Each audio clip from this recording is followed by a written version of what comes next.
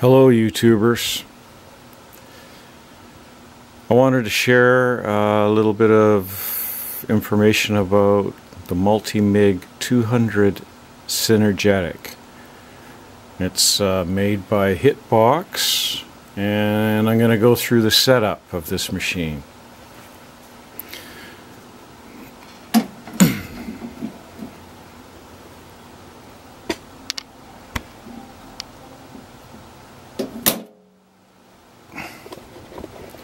So in the inside the machine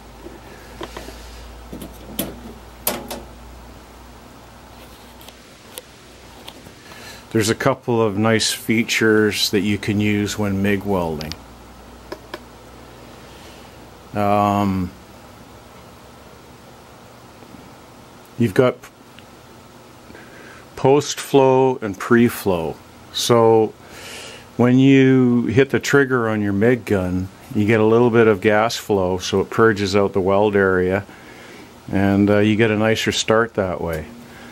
Um, there's an, in addition to that they also give you a, a slow feed control so you can uh, instead of having the wire shoot out at full speed it comes out a little bit slower and then you don't uh, it gives it a chance for it to arc up and start arcing and and start welding for you. Uh, there's also spool gun mode, remote. You have these two switches in off. You got a purge and a feed for when you're spooling up, up the machine. Uh, there's a bit of post flow that works as well. So you have a little bit of gas at the end uh, just to help cool the weld a little bit. So we'll go around to the front and we'll look at the controls.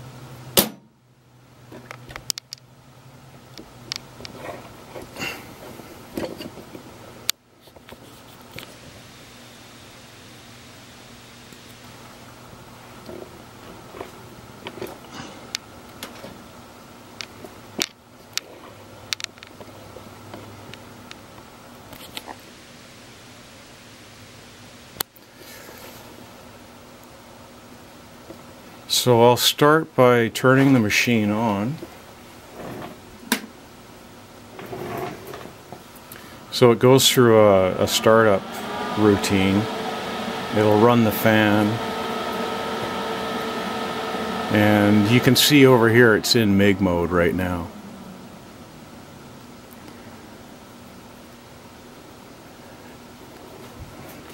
So my last setting was uh, I had it at maximum wire feed speed and voltage. Um, this would be a good setting if you were going to do spray transfer. Once you've used the machine you can also save your settings. So I'm going to abstract uh, um, a previous setting I had when I was in uh, 0.8 wire size. So to do that, you just come over to here. You can do, this is the first thing you can do when you want to start welding. You can go in here and retrieve a setting that you like to use for whatever material you're welding.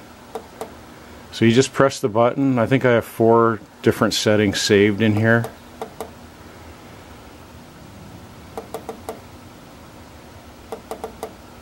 Uh, two settings. Okay. Um,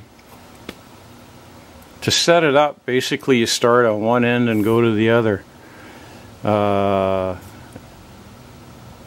so let's do that.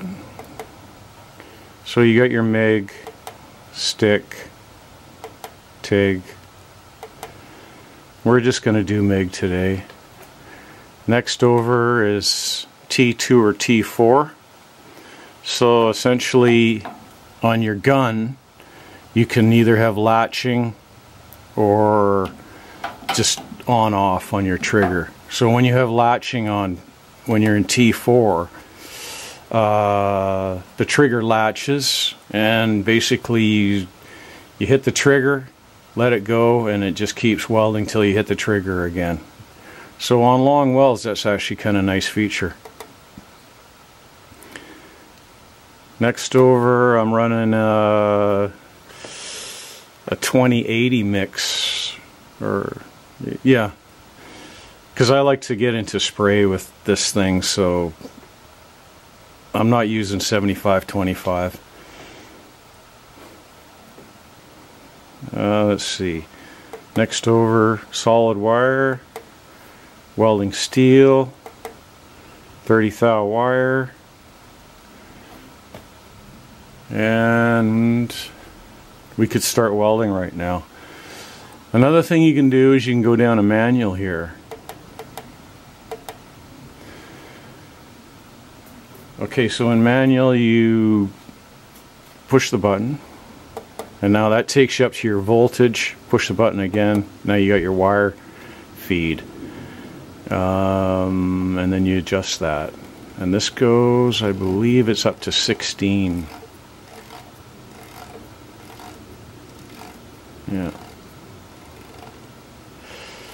Uh, I think in manual, if you're doing 3 16ths, I think you'd be running around uh, 13.6. And then for voltage, you could run up around 21 volts.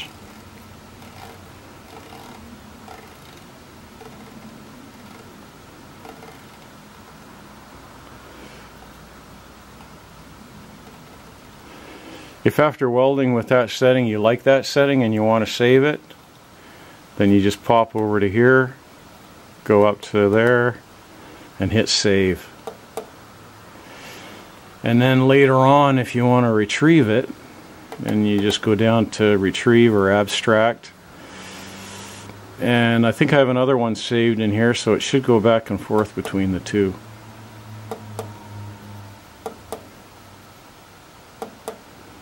Uh, looks like I have three or four different settings there. Alright, so let's go over to, oh, I'll show you the synergetic part of this.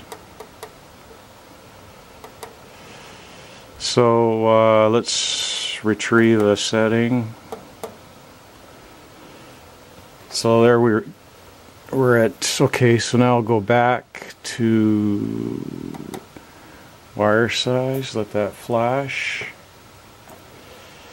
And now, if I twist the knob, because it's on voltage,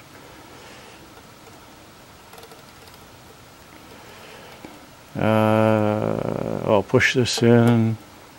There we go. So as I adjust the wire speed, it automatically adjusts the voltage for me. And that's how the synergetic part of this works.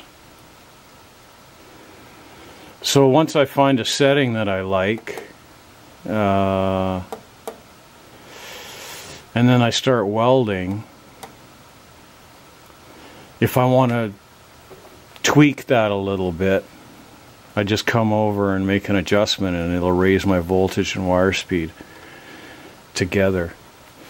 Over here we have uh, wave control, which uh, controls the weld.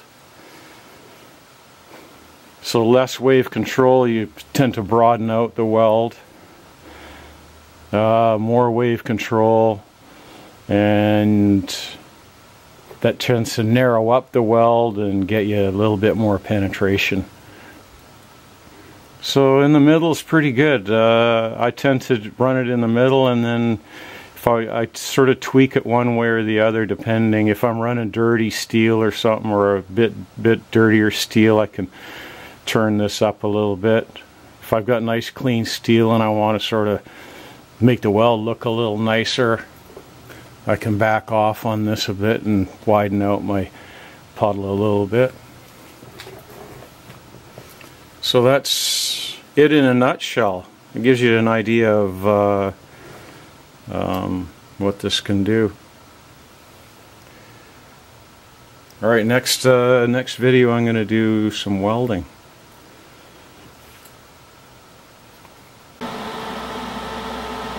Okay, this is going to be the multi-sync uh, with the settings that you see on the dashboard there.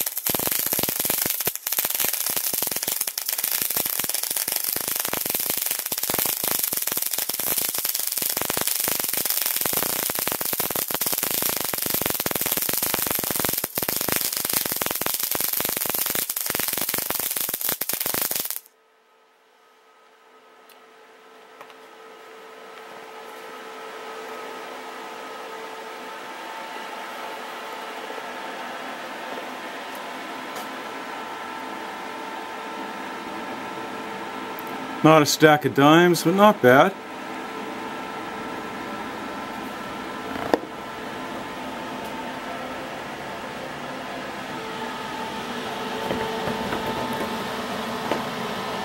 You can see I have the inductance set here to kind of get that puddle effect that you saw there.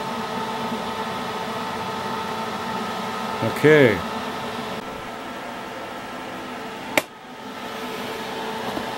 Okay, so now I'm in manual. Uh, I got my inductance cranked up a little bit in manual there 21 volts 13.2 and I think we should be into spray so let's see how spray transfer looks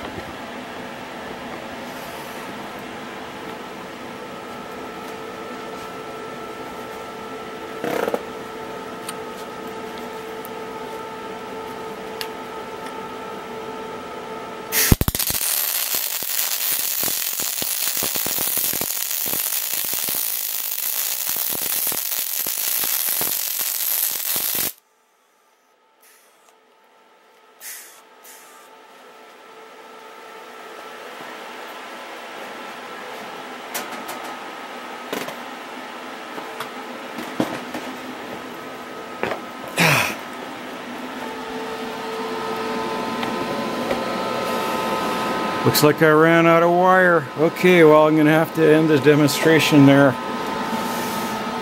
Uh, let's see how that spray. Well, it's, you can see it does spray transfer beautiful. That was going to be a nice stack of dimes there. Okay, I hope you enjoyed the video.